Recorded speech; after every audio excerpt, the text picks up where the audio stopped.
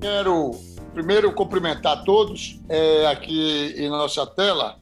Nós temos 34 pontos de participação da nossa segunda sessão, Luiz Venere Decu. E esses 35 pontos, eu já aqui saúdo o doutor Germano Souza, que é nosso colega, doutor em Ciências de Saúde pela, pelo INCOR, HC, Faculdade de Medicina USP, e que é também coordenador das nossas unidades de cardiologia, coordenação de cardiologia e clínica médica do Hospital Regional São José dos Campos, que é a primeira parceria público-privada do Estado de São Paulo, e também do recém-inaugurado Hospital Regional do Litoral Norte. Para os que não os conhecem, fica aqui o meu convite, em qualquer momento que estejam é, por lá, é, ou agendando e conhecer, porque são dois instrumentos de saúde do Estado de São Paulo extremamente impactantes para a população, pela estrutura que tem, estrutura predial, logística, de tecnologia, de informática, é, de robótica, assim como de recursos humanos. Como estamos numa sessão científica, vale informar que 64% das nossas coordenações técnicas, médicas, enfermagem, fisioterapia, farmacêuticos, têm doutorado. Isso é muito importante para o projeto que nós temos e faz parte da missão do ISG, Precipua, promover saúde através da educação. Aliás, era o nosso mote anteriormente, depois a gente ampliou e no sentido de promover saúde com espírito público e eficiência do privado. Mas a mola propulsora continua a ser ensino e pesquisa. Então, dizendo isso aqui, eu vou saudar também o nosso professor, nosso convidado, é o segundo convidado da sessão Luiz Venel Decu, o professor Álvaro Avezum. A apresentação do professor Álvaro eu vou deixar, não vou é, tirar esse prazer do, do nosso Germano e indicação de o fazer. É, dada a metodologia, dizer que a, a, a sessão Luiz Venere Curso científica foi feita em homenagem não ao cardiologista Luiz Venere de Curso, mas ao pesquisador, ao empreendedor, ao gestor de pesquisa. O general tem que saber gerir o exército. O empresário tem que saber gerir o negócio dele. Gestão é muito importante, é o que vai levar a sua missão.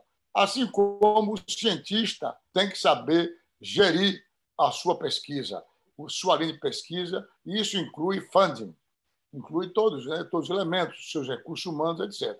O grande líder em qualquer área, ele tem que ser, antes de tudo, um gestor. Então, essa sessão científica tem o nome do professor Luiz Decu, que fez uma grande obra que é o INCOR, mas, evidentemente, não foi esse, esse é um requisito importante de uma pessoa com grande veia empreendedora, que se destacou na assistência, na, no ensino, mas mas também na pesquisa, e é o motivo que nós, portanto, é, homenageamos ele. Então, fica aí dizer que é com grande prazer, estou dizendo, que a gente faz a abertura dessa segunda sessão não é, científica com o professor não é, é Azevum.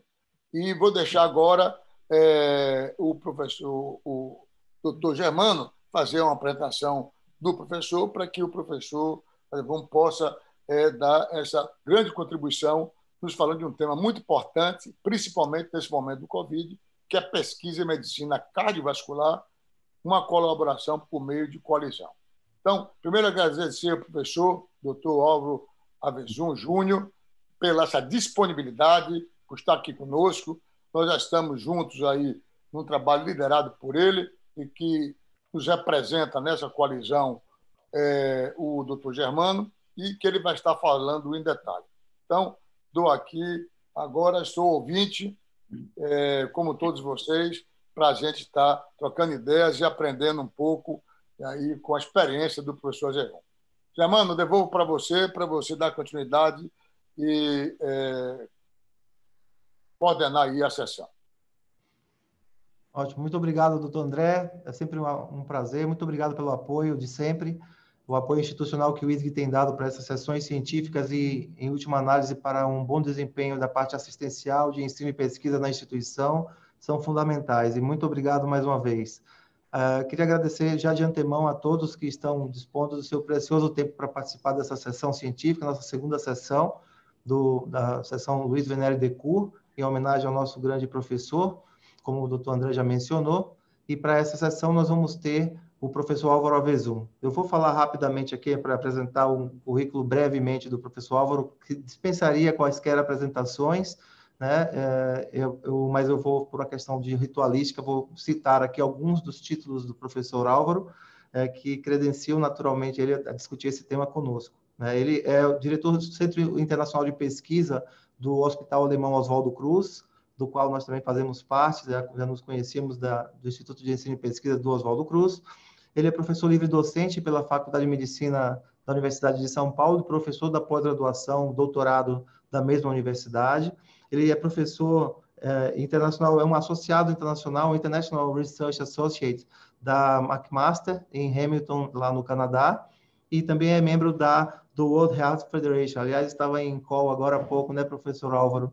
Sempre em contato com essa rede de colaboração internacional em pesquisa clínica, que para nós, sem dúvida, é uma grande é, é um, é um grande, é, uma grande oportunidade. Né? O Brasil é, já poderia estar inserido há mais tempo, de maneira mais organizada, mas antes tarde do que nunca, e finalmente nós estamos é, realmente entrando de forma um pouco mais é, sistemática no cenário da pesquisa clínica. Claro que existiam diversos talentos aqui no Brasil já, individuais, mas de fato o que a gente vai ouvir hoje é justamente como é que, é, como é que nós podemos fazer uma colaboração sob a forma de coalizão, né? E aqui especificamente medicina cardiovascular, e sabendo que o doutor Álvaro, o professor Álvaro, junto com outros eh, grandes nomes da pesquisa clínica nacional, idealizaram a coalizão COVID e a partir dessa coalizão, acredito que muitos bons frutos surgirão e já tem diversos frutos que seguramente o professor Álvaro vai apresentar para nós aqui.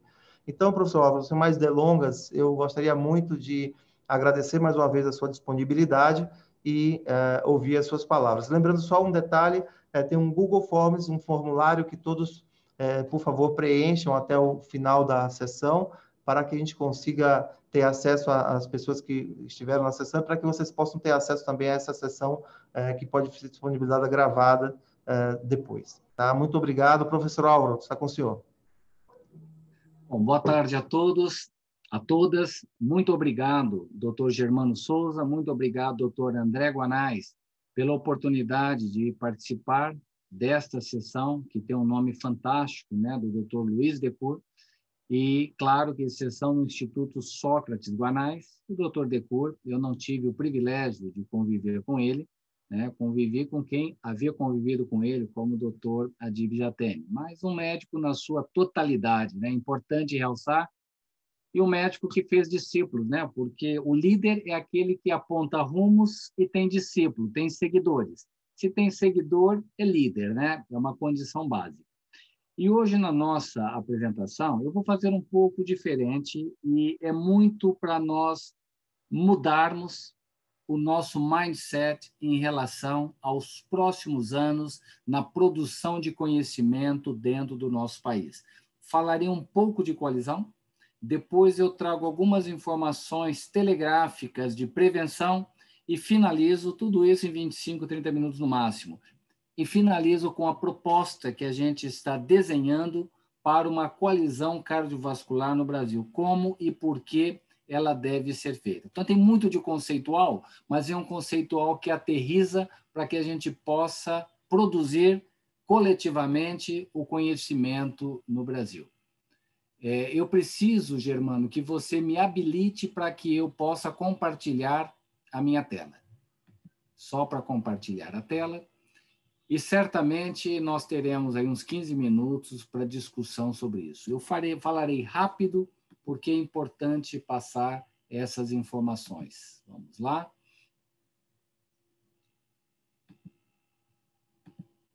Agora já pode. Ainda não. Ainda não. que a gente vai habilitar agora, professor? Não, dá, não tem problema. Enquanto ele está habilitando, eu quero dizer, professor, pois não? que nós temos 48 pontos de participação Tá. Mas se a gente for ver, deve ter mais de 100 participantes. Ah, com certeza. Porque tem vários auditórios, todos os auditórios das nove unidades estão participando. Então, tem Doutor... auditórios com 10, com 12. Excelente. Cada ponto. Excelente.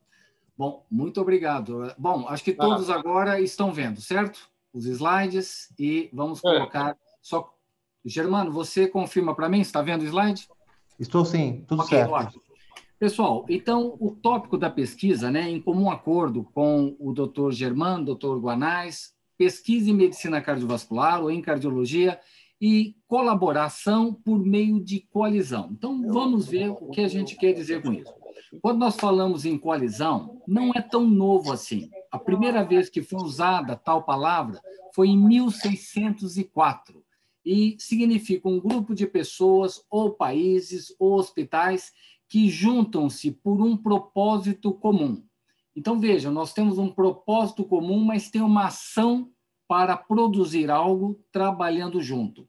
Então, nós temos algo de mais de 400 anos já de citação na literatura e nós estamos em 2020 revisitando isso, mas por uma necessidade e por objetivos atualizados e, portanto, contemporâneos. A primeira coalizão que eu participei com a Federação Mundial de Cardiologia, ela tinha um nome muito importante. Essa coalizão, ela trazia os chamados roadmaps para nós olharmos e fazermos um diagnóstico situacional do que estava acontecendo e propor soluções potenciais em três áreas. Prevenção secundária, diga-se de passagem, 80% dos eventos cardiovasculares são oriundos de quem já teve um evento. Segundo, tabaco. Terceiro, controle de pressão arterial. Por quê? Porque são as três opções, os três pilares que rapidamente reduzem mortalidade por doença cardiovascular. Nós chegamos a construir uma série de itens com base em diagnóstico situacional e ações potenciais muito, muito baseadas em evidências e que, se fossem, a palavra, se fossem implementadas, nós atenuaríamos e muito o ônus da doença cardiovascular no Brasil. Quando nós fomos para a parte prática que é estabelecer a coalizão, nós tivemos várias limitações na implementação. Por quê? Porque aqui nós temos instituições acadêmicas, sociedades médicas, associação de pacientes, governos nos três níveis federal, estadual e municipal, iniciativa privada, ONGs que e mídia que trabalham dentro da área de saúde cardiovascular. Como vocês podem ver, não é nada simples, é muito bonito, muito prático no slide. Mas na prática, nós realmente tivemos muita dificuldade para ter todos esses parceiros, que nós chamamos de stakeholders, para poderem trabalhar de maneira comum no objetivo único, que é reduzir o ônus da doença cardiovascular. Então, foi uma primeira iniciativa e já serviu para mostrar que não é simples. Na sequência, quando você tem algo complexo, se você tiver um estímulo doloroso, pode ser que o complexo torne-se simples. O que eu quero dizer? Pandemia, Covid-19, uma necessidade premente de trazer soluções para tratamento ou de prevenção de complicações da Covid-19, que ainda hoje assola o mundo e assola o nosso país, com 4,6 milhões de pacientes infectados, deve ser um pouco mais, e temos aí quase 140 mil óbitos. Então, a Covid, ela trouxe uma oportunidade, porque dizem que crise é uma maneira de você juntar sofrimento, dor com oportunidade. E a oportunidade foi de que um grupo de oito pesquisadores, que aqui vocês podem ver com as suas respectivas instituições, Otávio com Einstein, Alexandre com HCOR, Luciano com Sírio, Renato com o BCRI, Regis com Moinhos de Vento, Viviane com a BP, Flávia com a Bricknet, que é uma rede de terapia intensiva em pesquisa, eu no Oswaldo Cruz. Ah, não tínhamos trabalhado junto, mas o objetivo comum foi: precisamos trabalhar com eficiência, com qualidade, juntar esforços para buscarmos soluções para a Covid-19. Essa coalizão foi absolutamente nacional, envolvendo 100 centros, cada estudo teve um número de centros participantes e todos se juntaram com um único propósito: queremos dar uma resposta para reduzir os danos provocados pela Covid, não só em território nacional, como internacional. Esta coalizão ela é tão eficiente que nós já temos 10 estudos. Então, imaginem, nós, de março até hoje, os três primeiros estudos, coalizão 1, 2 e 3, Lembro vocês que eu vou falar da área cardiovascular, mas eu, prefiro, eu preciso primeiro trazer o aspecto da coalizão.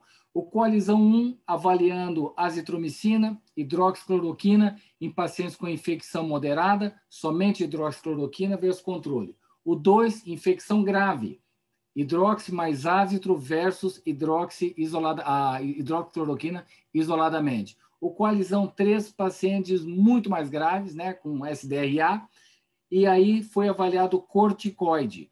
Coalizão 4 em andamento, avaliando em pacientes moderados e graves anticoagulação dentro do hospital, rivaroxabana versus anticoagulação plena, sem anticoagulação plena. O 5 é um que nós estamos trabalhando e precisamos de 1.300, já temos quase 850, hidroxicloroquina versus placebo. O seis, nós temos os pacientes com infecção grave já terminado, avaliando o antagonista de interleucina 6, tocilizumab.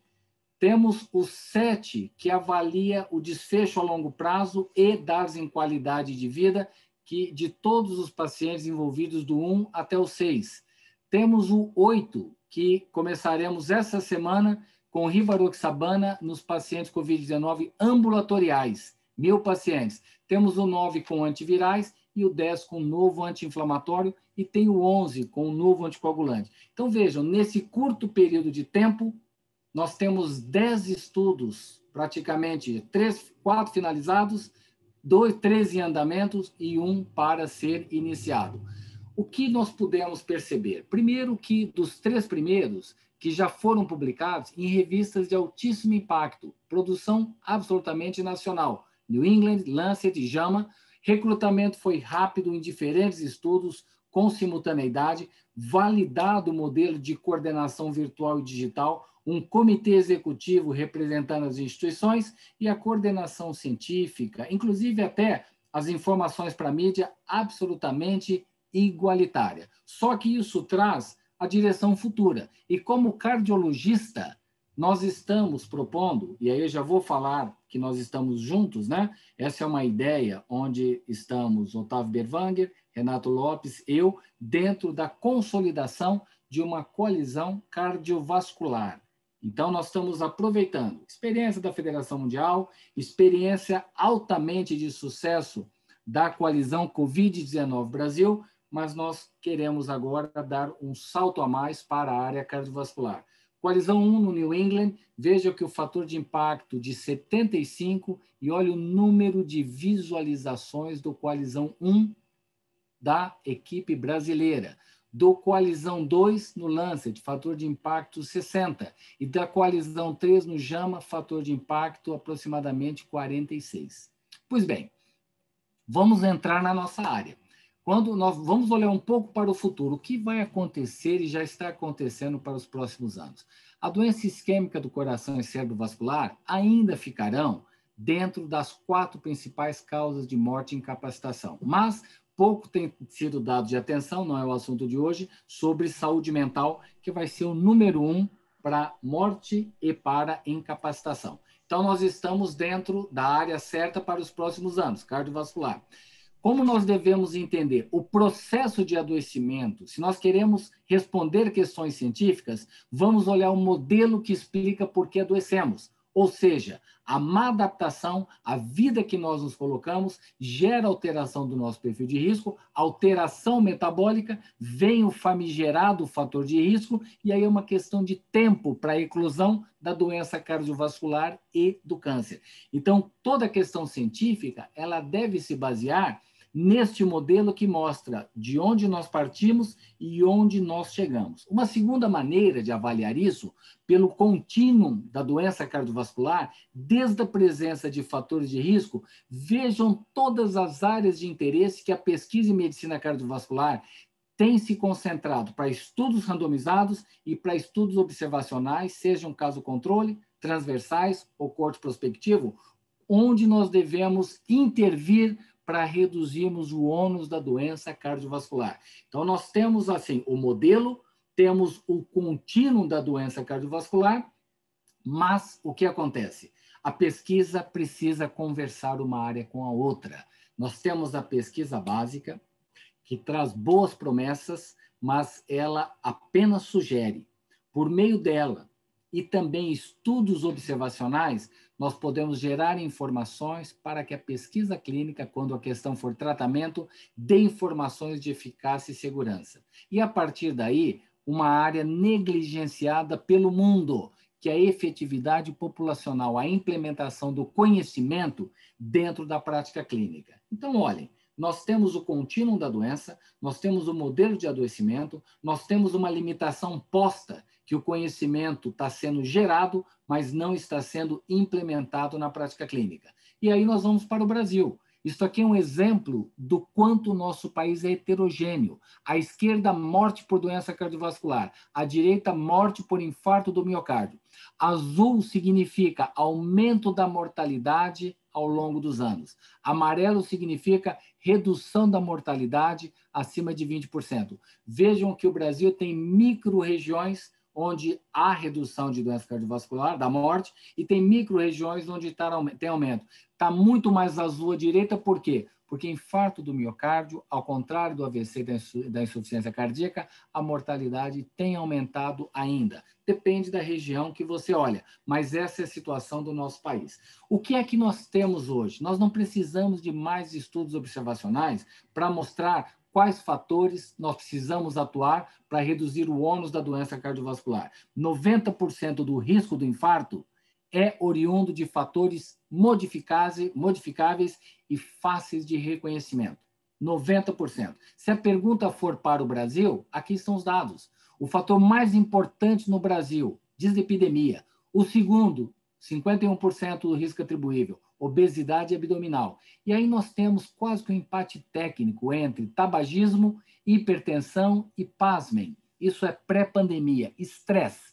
O Brasil é o país que o estresse tem maior impacto na associação com infarto agudo do miocárdio. Então, nós temos mortalidade alta, temos a ciência mostrando que tem dados, onde a pesquisa tem que concentrar nas áreas relevantes da medicina cardiovascular. Isso é para infarto, mas para AVC, a mesma coisa. 91% do risco do AVC está associado com fatores modificáveis e passíveis de modificação. E veja a hipertensão, 48% do risco da hipertensão, do risco do AVC, é atribuído à hipertensão. Então, de uma fase de falta de evidências, nós temos uma fase de abundância de evidências científicas, de falta de opções para excesso de opções. Portanto, a pesquisa ela deve ser efetivamente populacional, efetivamente translacional. Não a translacional, que muitas vezes é apregoada por meio de uma única informação da pesquisa básica. Não. Translacional tem que ter a básica, o fundamento da observacional, a consolidação da clínica e, por fim, implementação na prática clínica. Se não houver esse fluxo que dialoga da básica até a implementação, não é translacional potencialmente translacional, não é translacional. Ainda na sequência, olha o nosso trabalho, pessoal, para controlar a hipertensão no mundo. Ninguém vai fazer um novo estudo randomizado para um novo antipertensivo. Temos suficientemente e bons agentes para controlar a pressão. 10% vão à direita desse slide. De 8% a 15%, arredondando 10% da hipertensão está adequadamente controlada e aqui tem dados do Brasil também. Nós vamos mergulhar em quem? Novo antipertensivo ou estratégias populacionais para melhorar o controle pressórico? Vejam, pacientes pós-infarto na América do Sul e pós-AVC, apenas 30% do pós-infarto está em uso de antiplaquetário, apenas 24% do pós-AVC está usando antiplaquetário. São agentes comunitários de saúde que avaliam o paciente na sua residência depois do evento. E veja a estatina, 18% pós-infarto e 10% pós-AVC. Vejam que essa é uma situação desagradavelmente colocada que nós precisamos resolver por meio da pesquisa. E como se não bastasse a questão do risco cardiovascular, quanto mais pobre o país, veja em amarelo, país de baixa renda, maior é a mortalidade. É o paradoxo do risco. O risco é mais alto no país rico, mas no país rico, em verde, tem mais eventos menos importantes. Stent, cirurgia cardíaca, hospitalização por angina instável mas o país que tem risco mais baixo tem maior mortalidade, ou seja, sugere fratura de sistema de saúde, outra linha de pesquisa. E para nós encerrarmos e entrarmos na proposta, nós também temos dados do PURE mostrando de maneira muito clara que frutas e legumes aumentam a sobrevida. Ponto final. Mais de 100 mil indivíduos seguidos por quase nove anos. Quando nós avaliamos carboidrato e gordura animal, Gordura animal reduzindo mortalidade e carboidrato aumentando mortalidade. E vejam que não teve efeito sobre eventos cardiovasculares, mas sobre a sobrevida livre de eventos. Força muscular, que a gente no consultório vinha, eu pelo menos modifiquei no, nos últimos 10 meses, sempre recomendando o aumento de atividade aeróbica. Mas, na verdade, força muscular se a pessoa, a cada 5 quilos a menos de força muscular, né, 5 quilos a menos que perde no dinamômetro, aumenta em 37% a chance de mortalidade. Mais impacto do que pressão arterial sistólica e atividade aeróbica. E, por fim, a questão do sódio, que é curva em J. Também dados da literatura. Reduz, vai reduzindo eventos, óbito, infarto e AVC. Mas se reduzir demais, passa a aumentar óbito, infarto e AVC. Pois bem, olhando isso, nós temos aqui no mundo, esses são os dados do ano passado do PIOR, quais são os fatores que aumentam eventos cardiovasculares. A pesquisa tem que ser focada nisso. O principal fator, hipertensão. Depois, a, a, simplificando, LDL colesterol, poluição, tabaco, alimentação nível educacional, obesidade abdominal, diabetes. E vejam para a mortalidade. Se vocês perguntarem, eu quero saber os preditores de morte no mundo. Número um, educação. Número dois, tabaco. Três, força muscular. Quarto, alimentação não saudável. Hipertensão, poluição, diabetes, obesidade abdominal, depressão. Aqui vem o sedentarismo, mas veja onde entra a força muscular. Ok, pessoal, depois desse passeio na necessidade das respostas de questões científicas que melhorem a saúde cardiovascular do nosso país, nós ah, começamos, né? Eu estou completando 30 anos de pesquisa por meio do estudo Emeiras, e eu tive, eu vi que o Nakarato está participando, o Nakarato participou, né? Não é glória nenhuma ter participado do Emeiras, que começou de 88 a 92, mas a partir do Emeiras, nós começamos a trabalhar com pesquisa multicêntrica no Brasil em 88. Eu entrei em 89, depois do R3 de cardiologia. E a partir daí, mesmo com treinamento formal na McMaster, expandimos a nossa rede de colaboração. A rede de colaboração não é só para pesquisa clínica de estudos randomizados, mas também de estudos observacionais. Mas nós temos que, de tempo em tempo, reavaliar o modo de colaboração. Várias redes existem, vários hospitais participam, colaboram juntos, outras vezes são redes que uma CRO estrutura, outras vezes que a própria indústria farmacêutica. Então, nós temos várias redes dentro da rede hoje dentro do Brasil. Quando começamos, nós tínhamos, né, hoje tem 30 anos isso, 250 hospitais distribuídos em 22 estados e 60 cidades trabalhando juntos. Brasil, Estado de São Paulo, Cidade de São Paulo mas tem que repensar. O mundo muda, os ciclos vão se fechando, temos que ser competitivos, temos que usar de protagonismo no mundo. E a pergunta é: nós do Brasil, depois dessa experiência da Covid, onde nós estamos fornecendo guias para o mundo para o tratamento da Covid em publicações de alto impacto, o que esse modelo pode trazer para nós na cardiologia para a gente produzir coletivamente conhecimento de qualidade que melhore de maneira tangível e mensurável a saúde cardiovascular da população mundial e não apenas do Brasil.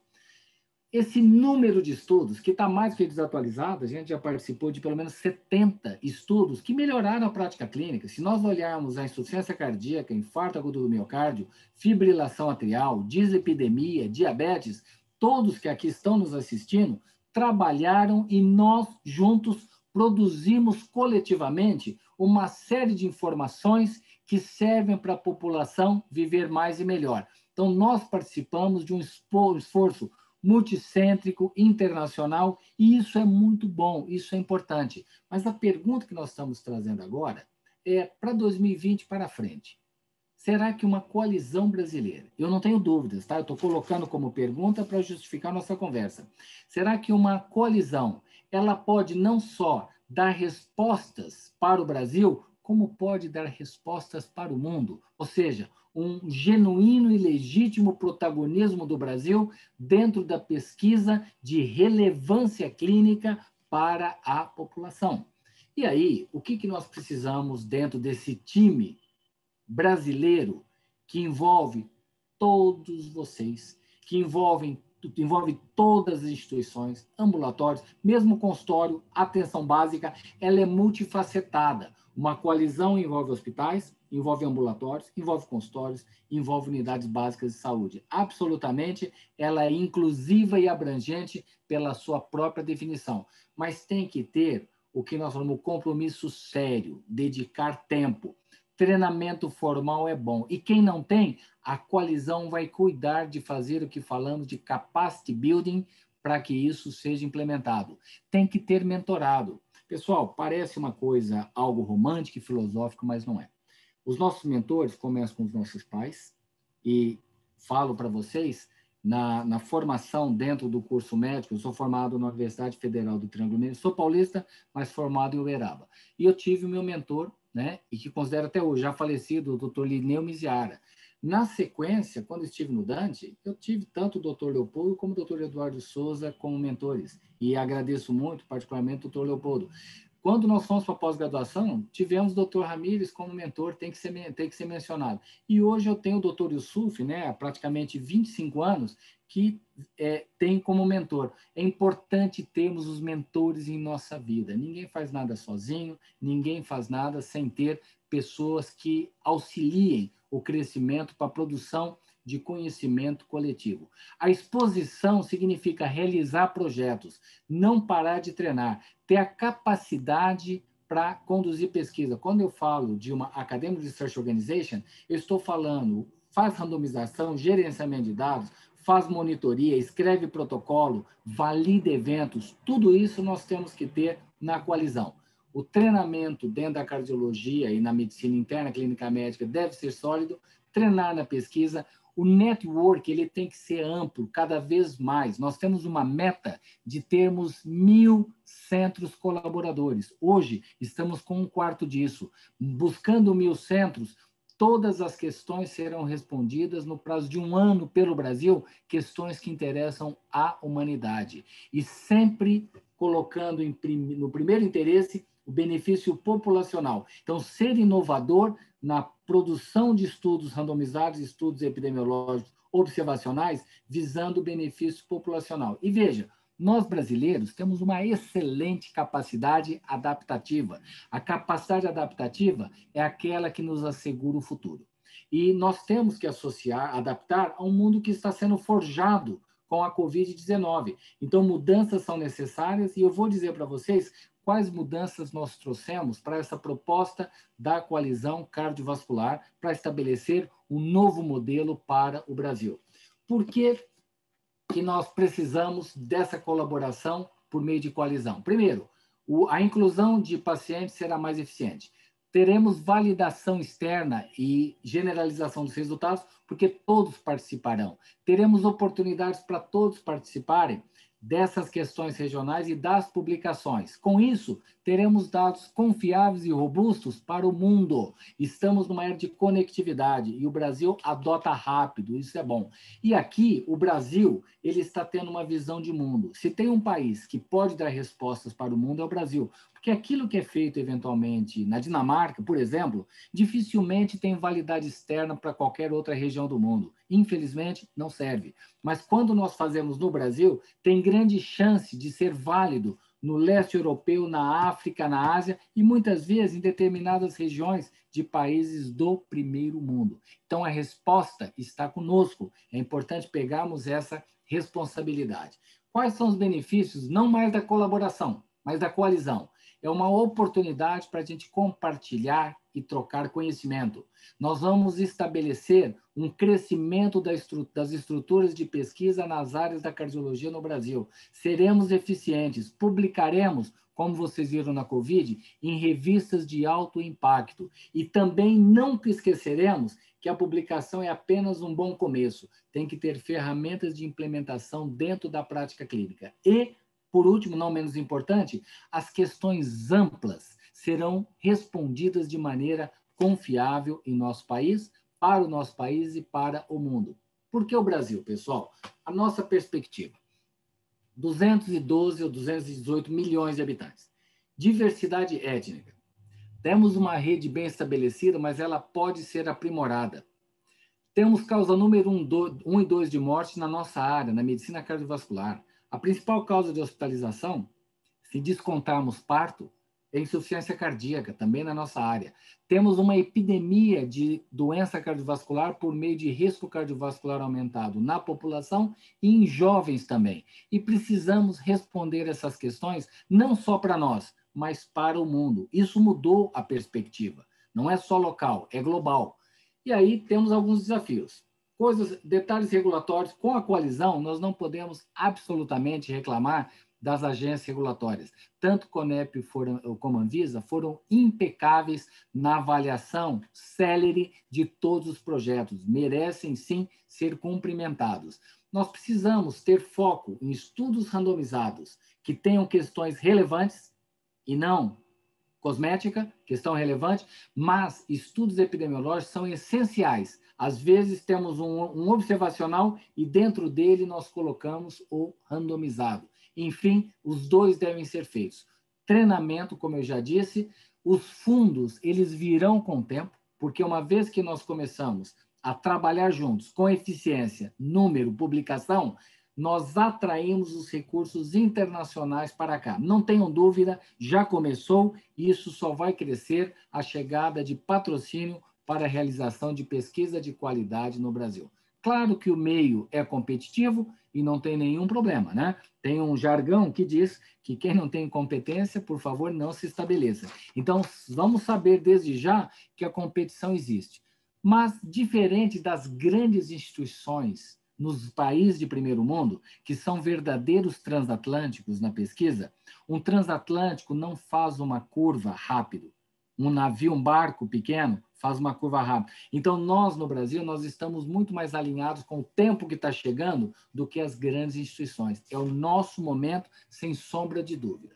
Próximas etapas para nós terminarmos. Primeiro, nós temos que ter um esforço de colaboração de longo prazo. Isso, pessoal, é que nem amizade, isto é que nem um casamento harmônico, é de longo prazo, sem ter uma, um relacionamento de confiança, de peito aberto, não adianta colaborarmos. Nós vamos estruturar cada vez melhor as estruturas que fazem pesquisa no Brasil, a barreira regulatória está sendo simplificada, deixaremos uma ligação muito clara do epidemiológico, do clínico, melhora de prática clínica e, o, e o, a ciência básica deve ser alinhada no clínico e no epidemiológico. É a melhor fase para a ciência básica avaliar é tendo a vantagem dos eventos da demografia que o clínico e o epidemiológico trazem.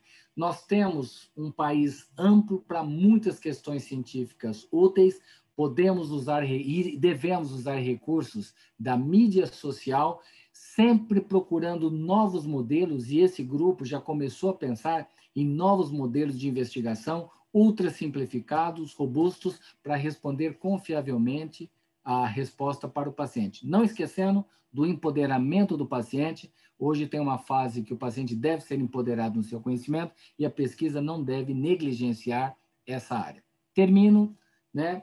Como diz, eu repito muito isso, gratidão é a memória do coração. E nós trabalhamos num alinhamento total. Hoje, o Instituto de Pesquisa em Saúde Populacional, PHRI, do Canadá, ele tem uma base no Hospital Alemão Oswaldo Cruz, com a Universidade McMaster, com a qual nós trabalhamos desde 1993. E eu ouvi dessa pessoa, né, o Dr. Yusuf, que é o cientista mais citado no mundo, né? A contribuição desse homem para a cardiologia é brutal. E eu trago isso para dizer para vocês o seguinte: quando uma, um ano que eu morava no Canadá, fiquei lá dois anos, voltando de um jogo de beisebol, e diga-se a princípio, né, uma coisa, não sei se alguém gosta, mas horroroso aquilo, mas voltando um jogo de beisebol com ele, ele me disse o seguinte, que falou, se você quer fazer pesquisa, tenha seus amigos e por tê-los, convide-os para trabalhar. Qual é a lógica dessa questão? Você tem que ter um relacionamento de confiança. Você tem que ter um relacionamento, como eu disse anteriormente, de peito aberto. Então, se nós não abaixarmos a guarda para colaborarmos em pesquisa, porque nós temos pessoas excelentes em várias regiões geográficas do Brasil. Não pode ficar centralizado no único ponto, porque não dá mais para trabalhar sozinho. Nós esgotamos o modelo do trabalho isolado, nós esgotamos o modelo de uma única instituição. Simplesmente, se nós quisermos prosseguir nos próximos passos que o mundo está pedindo, nós vamos ter que juntar esforços. É como eu falo da matemática. Tem uma matemática muito eficiente de países desenvolvidos que um mais um vira três. E tem uma matemática perversa muito comum na América Latina e em outros países, que um mais um vira meio. Então, nós temos que reverter isso e essa coalizão é uma oportunidade para nós. Essa frase, né, de 13 anos atrás, de uma pessoa que iniciou a pesquisa colaborativa uh, em cardiologia no mundo com o estudo ISIS-1, ele tinha 26 anos, o Salim Yusuf, nessa data, e ele entende o que é colaboração. Mas a nossa proposta, já disse a ele, ela ultrapassa o que foi feito até hoje. É a nossa vez, é a vez do Brasil protagonizar isso no mundo. Mas ele coloca algumas coisas. Primeiro, que a única maneira de dar respostas para questões relevantes e respostas confiáveis é colaboração. Só que o nosso é um passo acima, é coalizão. Outra coisa, você tem um estímulo intelectual trabalhando com as pessoas para responder coisas que muitas vezes é até um sonho, mas você consegue realizar isso aí. Segundo, você trabalha. Terceiro, com pessoas muito interessantes que têm muito para nos ensinar todo mundo tem o que ensinar o outro, se o outro tiver abertura para aprender.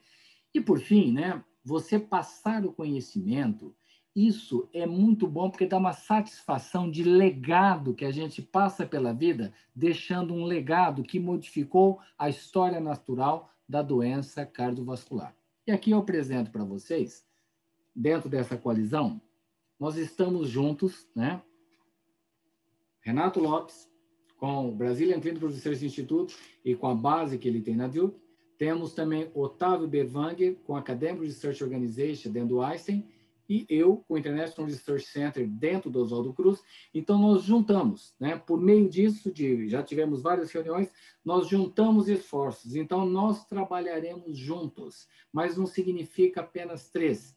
Nós estamos mostrando que a gente pode trabalhar sozinho, e o mundo, a gente tem mostrado o tanto que publica, os estudos que faz, não é isso. A questão agora é como é que nós juntamos e trabalhamos juntos. Já está decidido, já estamos né, trabalhando o método de juntar forças, mas nós queremos dilatar, dilatar para envolver todos aqueles que queiram trabalhar nessa coalizão cardiovascular brasileira.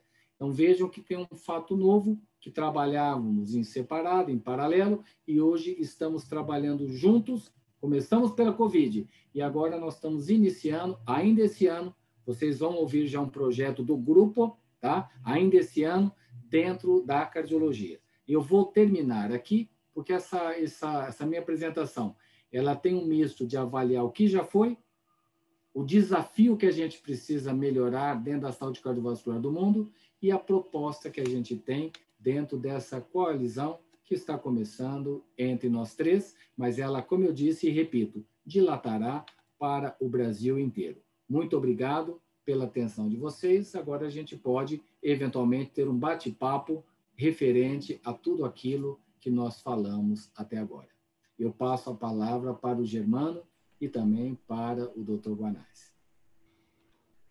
Muito obrigado, professor Álvaro Alvezum, uma, uma apresentação inspiradora, né? como, é, como todas que eu, que eu já tive a oportunidade de ver suas. Então, muito obrigado, essa realmente é, uma, é um novo paradigma, é realmente é um novo mindset que a gente precisa é, implantar é, em todos os nossos serviços, e é, é, essa, essa iniciativa faz parte já dessa, de, desse processo. Né? Então, já estamos justamente é, tentando é, implementar em todos os locais onde nós colaboramos e trabalhamos, é, para além da assistência e esse foco em ensino e pesquisa. Eu, eu queria verificar se tem alguma pergunta no chat, e na sequência, eu, eu, tem alguém que gostaria de fazer alguma pergunta? Pode abrir o, o áudio, não tem Está aberta a sessão para aproveitarmos o professor Álvaro. Eu estou vendo aqui. Eu vou, eu vou começar com o professor Ovidio Baltato, diretamente de Abu Dhabi, nos Emirados Árabes. É um professor é, de pesquisa básica muito, muito renomado. Obrigado, professor Ovidio, pela participação. É, temos aqui, na verdade, participação de colegas lá na Harvard, lá em Boston, doutor Jefferson Vieira, temos colegas é, em Angola, doutor Cláudio Mbala, estamos em vários continentes aqui. Acho que vai ser uma coalizão, mais uma internacional, viu, vai, vai, ser, vai, vai suplantar os, os, muros do Brasil. É, doutor Gilson, é, obrigado. É, vamos lá, eu vou fazer uma ideia, eu vou perguntar aqui, eu vou me aconselhar com, com o senhor, professor Álvaro. É, nós temos o, o Instituto Sócrates Guanais, é uma organização social que faz a gestão de diversos hospitais, está presente em vários estados no Brasil. Só aqui no estado de São Paulo, eh, nós estamos em quatro hospitais regionais de médio e grande porte, né, em Registro, São José dos Campos, Litoral Norte e Itanhaém, além de algumas AMES. Então, nós operamos em rede, é, e então, são mais de mil leitos é, administrados pelo ISG diretamente, mais de 200 leitos de terapia intensiva. Então, assim, é, já é uma rede, né? E a nossa ideia é, realmente tem sido estruturar, reestruturar o Centro de Ensino e Pesquisa do Instituto. Estamos é, submetendo agora a CONEP, a nova Comissão de Ética em Pesquisa própria. Então, esse processo está em andamento. Que conselhos o senhor daria para nós, com a sua experiência de gestão de centros de ensino e pesquisa, neste momento em que nós estamos agora desabrochando para essa nova era de, co de colaboração e coalizão, mas é, do ponto de vista de gestão desse centro de ensino e pesquisa, aí uma fugindo um pouquinho aí do nosso, nosso tema, mas dentro ainda do nossa, nosso objetivo. Que, como o senhor sumarizaria isso? Tá. É, Germano, ah, eu, eu vou começar respondendo a sua pergunta e vou complementar com uma resposta que não foi o que você perguntou, mas tem a ver com o que você perguntou. Então, assim, a, a gestão que você está dizendo tem que ter profissionalização. Não tem como você trabalhar em rede trabalhar em coalizão, em colaboração, sem ter uma estrutura mínima, sem ter o que a gente fala o PMO, né, o Project Office, você tem que ter estrutura de pesquisadores, gerenciamento de dados, você tem que ter monitoria, tem que ter um jurídico eficiente, tem que ter um regulatório eficiente. Então, não é para improvisar. Nada improvisado dá certo nessa área. Segundo, tempo dedicado. Tem que ter pessoas que não vão fazer, usar, trabalhar na pesquisa com tempo de sobra. Tempo de sobra não adianta para a pesquisa. É tempo dedicado. Se são 20 horas semanais, se são 10 ou 40, aquelas horas são para a pesquisa. Então, nós temos, né, e está aberto para você dentro do Hospital Alemão Oswaldo Cruz, temos hoje o nosso Centro Internacional de Pesquisa conta com 55 pessoas, tempo dedicado para pesquisa entre pesquisador médico, enfermeiro, analistas de sistemas, que são cientistas de dado. Então, assim, tem que estruturar e ter algo muito eficiente para funcionar. Então, isso não é difícil, que você pode passar lá eu lhe falo, olha, você tem que ter essas pessoas nessas funções, esse aqui é o investimento que você vai ter em equipamento, que não é muito, e aqui é recurso humano e como você faz para manter ela economicamente viável. Isso é tranquilo para te passar. Mas eu respondo também que tem uma segunda parte. Para trabalhar em colaboração, nós temos que explorar o que nós temos de bom dentro da gente, que muitas vezes não é manifesto. Então, assim, a vaidade, ela não vai poder ficar muito perto, o orgulho não vai dar certo, o egoísmo muito menos, e o pior de tudo, inveja. Então, assim, o indivíduo, então, assim, o indivíduo veja, eu estou falando, é verdade isso. O, o grande problema nosso no Brasil é inveja, gente, não é admiração. Inveja é querer destruir ou inviabilizar o que o outro tem de bom. Então, essas coisas não pode ser de agenda oculta, agenda debaixo do braço. Você, na hora que for montar, é por isso que eu falo, quando nós montamos, quando conversou Otávio, Renato e eu, todo mundo, né? Peito aberto e mão aqui, tudo mostrando. É a única maneira de você trabalhar junto. Então, esses sentimentos que aprisionam o ser humano né, em determinados locais que não anda, não pode ser negligenciado e falar, ah, não, é característica dele. Desculpa, indivíduos que agirem assim não são bem-vindos para trabalhar, porque senão você não consegue somar.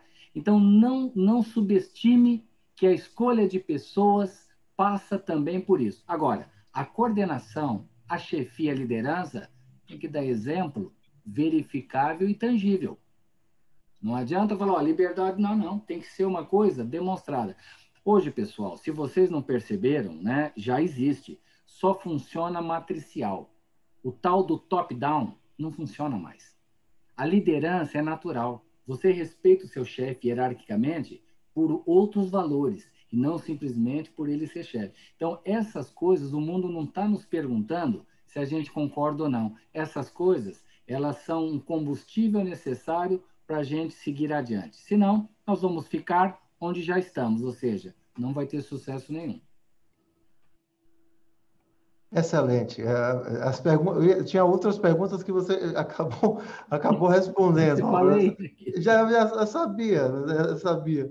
É, esse é muito importante. Então, é, essas forças realmente individuais e, na verdade, locais, loco-regionais, um olhar loco-regional, é, nós, por exemplo, que estamos no terceiro setor, né? então, é, é, um, é um olhar diferente é, de muitas, é, de algumas universidades das quais eu já participei, como Federal da Bahia, USP. É, e o terceiro setor ele tem uma, uma, vocação, e mais ainda dentro desse instituto, uma vocação para eficiência, no, no termo específico, né, econômico da palavra. Então, é, essa, por exemplo, é um nível de colaboração que eu acho muito interessante para estruturas que estão em terceiro setor, que no final das contas é, é, é transponível para diversos tipos de, de instituições privadas e públicas, mas o terceiro setor especificamente já está sendo desafiado todos os dias para fazer as coisas de forma mais eficiente. Isso é muito interessante como modelo também para validação, né? Trabalhar em rede e estando no terceiro setor. Isso fica só como um, uma, uma coisinha que a gente pode pensar mais para frente. Vamos ver se tem alguma, mais alguma pergunta aqui. Eu só queria. Uh, aqui tem algumas colocações, uh, entusiastas, muitos elogios aqui, viu, professor Álvaro? Aqui no nosso chat, então não há, não tenho dúvida nenhuma. E a, a, aqui elogios de várias ordens. Eu gostaria de, é, de fazer uma, uma colocação aqui, então, de antemão, se não tiver nenhuma outra pergunta, é, que, em primeiro lugar, é, nós vamos ter uma, uma sessão na próxima semana, justamente com o doutor Renato Delácio Lopes, que foi citado pelo professor Álvaro como membro da coalizão, doutor Renato vai, vai nos apresentar também uh, uma, uma versão um pouco é, mais focada na parte de evidências e também vai mencionar um pouco, vai ser um complemento importante aí da, da fala do professor Álvaro. Então, estamos sempre é, alinhados nesse sentido. O doutor Otávio já está em negociação também, em breve também fará uma apresentação para nós, então Estamos trazendo a coalizão aqui para a nossa, é, nossa rede. Eu, eu agradeço muito, pessoal. Se vocês não tiverem nenhuma outra pergunta, você quer fazer mais alguma colocação final? Doutor André Guanais, gostaria de fazer alguma colocação para o doutor Álvaro? Doutor Germano, pode fazer uma pergunta? Doutor Joaquim? Sim, é, é, Joaquim. Pois não.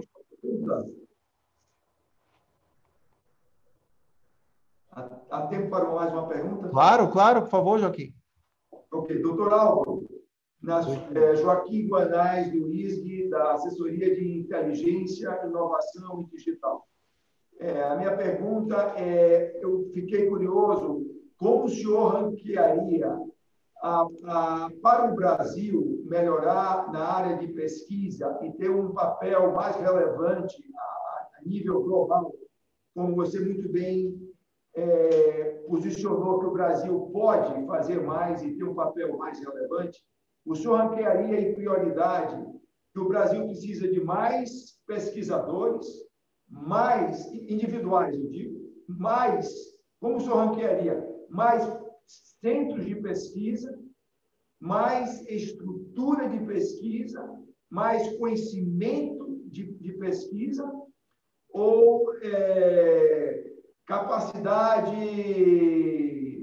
gerencial para a pesquisa. O que, é, o que é que é os fatores mais importantes em, em, em ordem para o senhor? Ok, ok. Bom, Joaquim, é, obrigado pela pergunta. É, você colocou todas, ah, todas, todos os itens, os in, ingredientes que são necessários. Eu comento e vou falar da importância. Então, veja o seguinte, é, a estrutura, ela é fundamental assim, a estrutura mínima para o indivíduo conduzir pesquisa. Então, a estrutura não tem como você não cuidar da estrutura. E por que que é importante? Nós temos um número de pacientes no Brasil suficientes para fazermos qualquer estudo multicêntrico de 20, de 30 mil pessoas em cardiologia somente o Brasil. O nosso número é superlativo. Mas por que que nós temos uma participação pequena, porque falta estruturação dos centros para poderem contribuir. Então, aumentar o número de centros é uma das prerrogativas. Como eu disse, temos aí em torno de 250, mas a nossa meta é de chegarmos a pelo menos mil no prazo até o final do ano que vem. Então, para aumentar os centros, eu tenho que estruturá-los que não é coisa complicada. E aí, tendo a estruturação, eu posso ir para as grandes questões científicas e o Brasil vai responder todos os anos questões de importância para o mundo. Então, estruturar localmente é fundamental. E com isso, eu tenho um número de centros.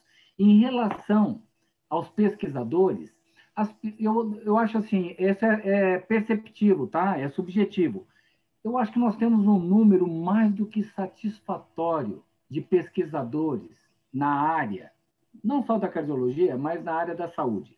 Nós precisamos é de localizar, localizar esses pesquisadores nos centros, no país todo, no país todo, para poder ter inclusão de pacientes. E claro que a gente não para com a formação dos pesquisadores. Dentro da coalizão, nós vamos manter um programa de atualização em pesquisa para todos os membros, seja a enfermeira, seja o médico, para ele sempre melhorar qualitativamente o conhecimento dele em pesquisa. Em 30 segundos, se você falar, escolha o primeiro, estruturação dos centros brasileiros.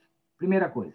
Sem ter estrutura, não adianta ter ideia boa, não adianta ter um estudo maravilhoso, não adianta buscar um patrocínio. Não tem pacientes. Então, primeira coisa é isso. O segundo, o tal do capacity building. O centro está estruturado, qualitativamente, todos os pesquisadores têm que melhorar a sua formação. E a partir daí, o resto é consequência. Se eu tenho como ter entrega eficiente de uma condução de pesquisa, o patrocínio chega, a publicação será uma consequência. Então, assim que eu consideraria a sua pergunta, Joaquim. Obrigado. Excelente, professor. Muito obrigado. Gostei, muito obrigado. Que bom. Muito bom. Bom, essa aqui é, é, é, o, é o, a arte aqui já, já da próxima reunião, estão todos convidados, né, com evidência, colaboração científica e tutoria em medicina acadêmica, é, que será no dia 29, na próxima terça-feira, é, no dia 29, meio-dia, sempre ao meio-dia, sessão científica semanal, sempre ao meio-dia, dessa vez com o professor Dr. Renato Delácio Lopes. Eu, eu, se não tiver nenhuma outra pergunta aqui, tem várias colocações aqui que nós vamos registrar e mandar para o senhor, viu, professor Álvaro? Mas de antemão, gostaria, se puder agora baixar, tirar, deixar de compartilhar essa tela aí, pessoal, só para me comunicar visualmente com todos. É, eu gostaria de agradecer enormemente, mais uma vez, ao professor Álvaro é, pela sua disponibilidade, sua gentileza, sua aula magnífica, excelente, é, inspiradora, comunicação, né, uma comunicação excelente. E eu é, realmente eu fiquei com esse, essa mensagem muito clara da questão da confiança, doutor Álvaro. É, realmente isso é um ponto, é a pedra angular de qualquer relação humana e que não é diferente em pesquisa clínica, ainda mais nesse com essa com esse novo mindset de realmente de colaboração. É a colaboração com C maiúsculo, né? Então, realmente é uma coalizão de verdade, né? Sem essa, é, sem essa, sem esse sentimento, isso não é possível. E o senhor mencionou realmente é, questões comportamentais que normalmente não entram nas aulas é, que são ah, geralmente as aulas é, teóricas, né? Mas é, isso aí é comportamento organizacional na veia, né? Eu fiz um curso na, na Getúlio Vargas de administração e realmente o senhor apenas reproduziu é, um, questões que são comportamentais em qualquer negócio, em qualquer empresa e numa coalizão, sem dúvida, uma vez que são todos atores independentes, a, essa colaboração só faz sentido mediante confiança. Confiança essa que nós temos no Senhor e, e, agradeço a confiança mútua por nos ter aceitado na coalizão também na nossa instituição. Viu? Muito obrigado mais uma vez. Muito obrigado, Germano. Muito obrigado, Guanete. Muito obrigado. Uma boa tarde para todos. Tá, muito obrigado a todos. Ô, obrigado. Ô, Germano, pessoal, Álvaro, são 30 segundos. Sim. Eu não podia me despedir de dizer o seguinte: brilhante é, exposição. Concordo aqui vários comentários, mas eu fico do professor Ramires, concordo completamente, depois você vai ter, mas dizer o seguinte, ela foi brilhante porque ela foi muito objetiva, clara, pragmática, nos deu uma visão geral e a palavra-chave e, é, entre todas as ações é realmente coalizão, parceria, adaptação, que é o novo mundo. Mas o que mais é, me deixa é, realmente extremamente alegre, satisfeito, é o entusiasmo. O entusiasmo de ver o professor Álvaro Avezinho falar. Entendeu? Então, nada é mais importante do que o entusiasmo. E liderança é isso. Você falar com coração, falar com entusiasmo, entendeu? É uma palestra que a gente ficaria aqui duas, três horas conversando. E, como se diz, o entusiasmo é isso, da maneira mais objetiva, é de sem tesão não há solução. Então, muito obrigado, professor Álvaro. Coalizão, coalizão, estamos juntos, vamos aumentar e concordo plenamente. Não há lugar para inveja no mundo atual. É o mundo de colaboração, de participação, do mais rápido, certo? E daquele, como eu disse, hoje o Brasil, aquele que pode se movimentar mais rápido, terá mais sucesso. Os grandes navios que se demoram a se movimentar, eles realmente vão ter mais dificuldade. Nosso irmão mais velho, Nizam, diz uma coisa. No passado, não é? em época do. Ah, já é, parabenizando aí nossos, nossos amigos do né, judeus que comemoram o, o Shana Tová, o Meketum, o, é, dizer o seguinte: no passado, você pensava como é que Davi ia vencer Golias. Hoje em dia, quem tem que se preocupar é Golias. Você tem que pensar como é que Golias vai vencer Davi. Tá certo.